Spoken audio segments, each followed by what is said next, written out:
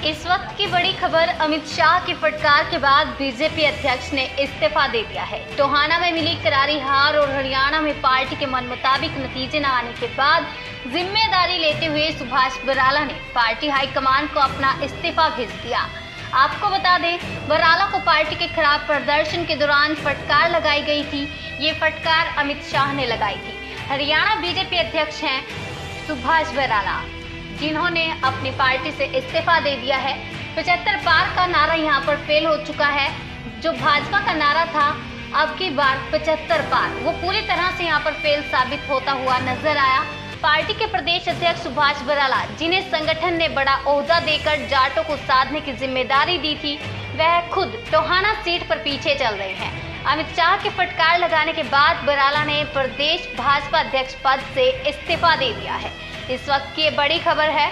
BJP प्रदेश अध्यक्ष ने इस्तीफा दे दिया, वो भी अमित शाह की फटकार के बाद। सुभाष बराला ने इस्तीफा दे दिया है। हार को देखते हुए बीजेपी के प्रदेश अध्यक्ष सुभाष बराला ने इस्तीफा दे दिया है।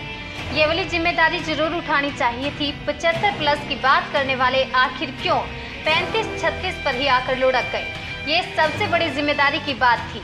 और ये सबसे बड़ी चिंता का विषय था कि उसको लेकर सुभाष बराला ने इस्तीफा दे दिया है। पार्टी के प्रदेश अध्यक्ष के तौर पर। तो ये बड़ी खबर इस वक्त आपकी टीवी स्क्रीन पर हम आपको बता रहे हैं। सुभाष बराला ने इस्तीफा दे दिया है। हार को देखते हुए ये प्रदर्शन इस वक्त भारतीय जनता पार्टी ने किया। इसके लिए चुनाव में पार्टी में ओवर कॉन्फिडेंस था।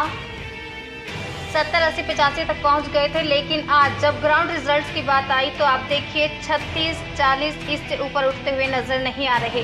सैंतालीस सीटें पिछली बार जीती, लेकिन उसके बावजूद उसको मेंटेन करने तक में कामयाब नहीं हो पाए भारतीय जनता पार्टी के तमाम नेता, तमाम दिग्गज और सुभाष बराला ने इस्तीफा दे दिया है। ये बड़ी खबर हम अपने दर्शकों तक पहुँचा रहे हैं। आप देखिए टोहाना से जननायक जनता पार्टी के जो कैंडिडेट हैं, देवेंद्र बबली, सरदर्द बने हुए थे, परेशानी बने हुए थे, और इस परेशानी का साथ साथ उन्होंने साफ़ तौर पर यह बता दिया था कि ये परेशानी बनकर चैन से बैठने वाला नहीं हूँ। मैं जब तक सुभाष बराला को यहाँ से हरा नहीं देता, तब तक सुकून नहीं मिलेगा, तब तक चैन नहीं मिलेगा। वो जो ठान ली थी, वो कर कर ही माने।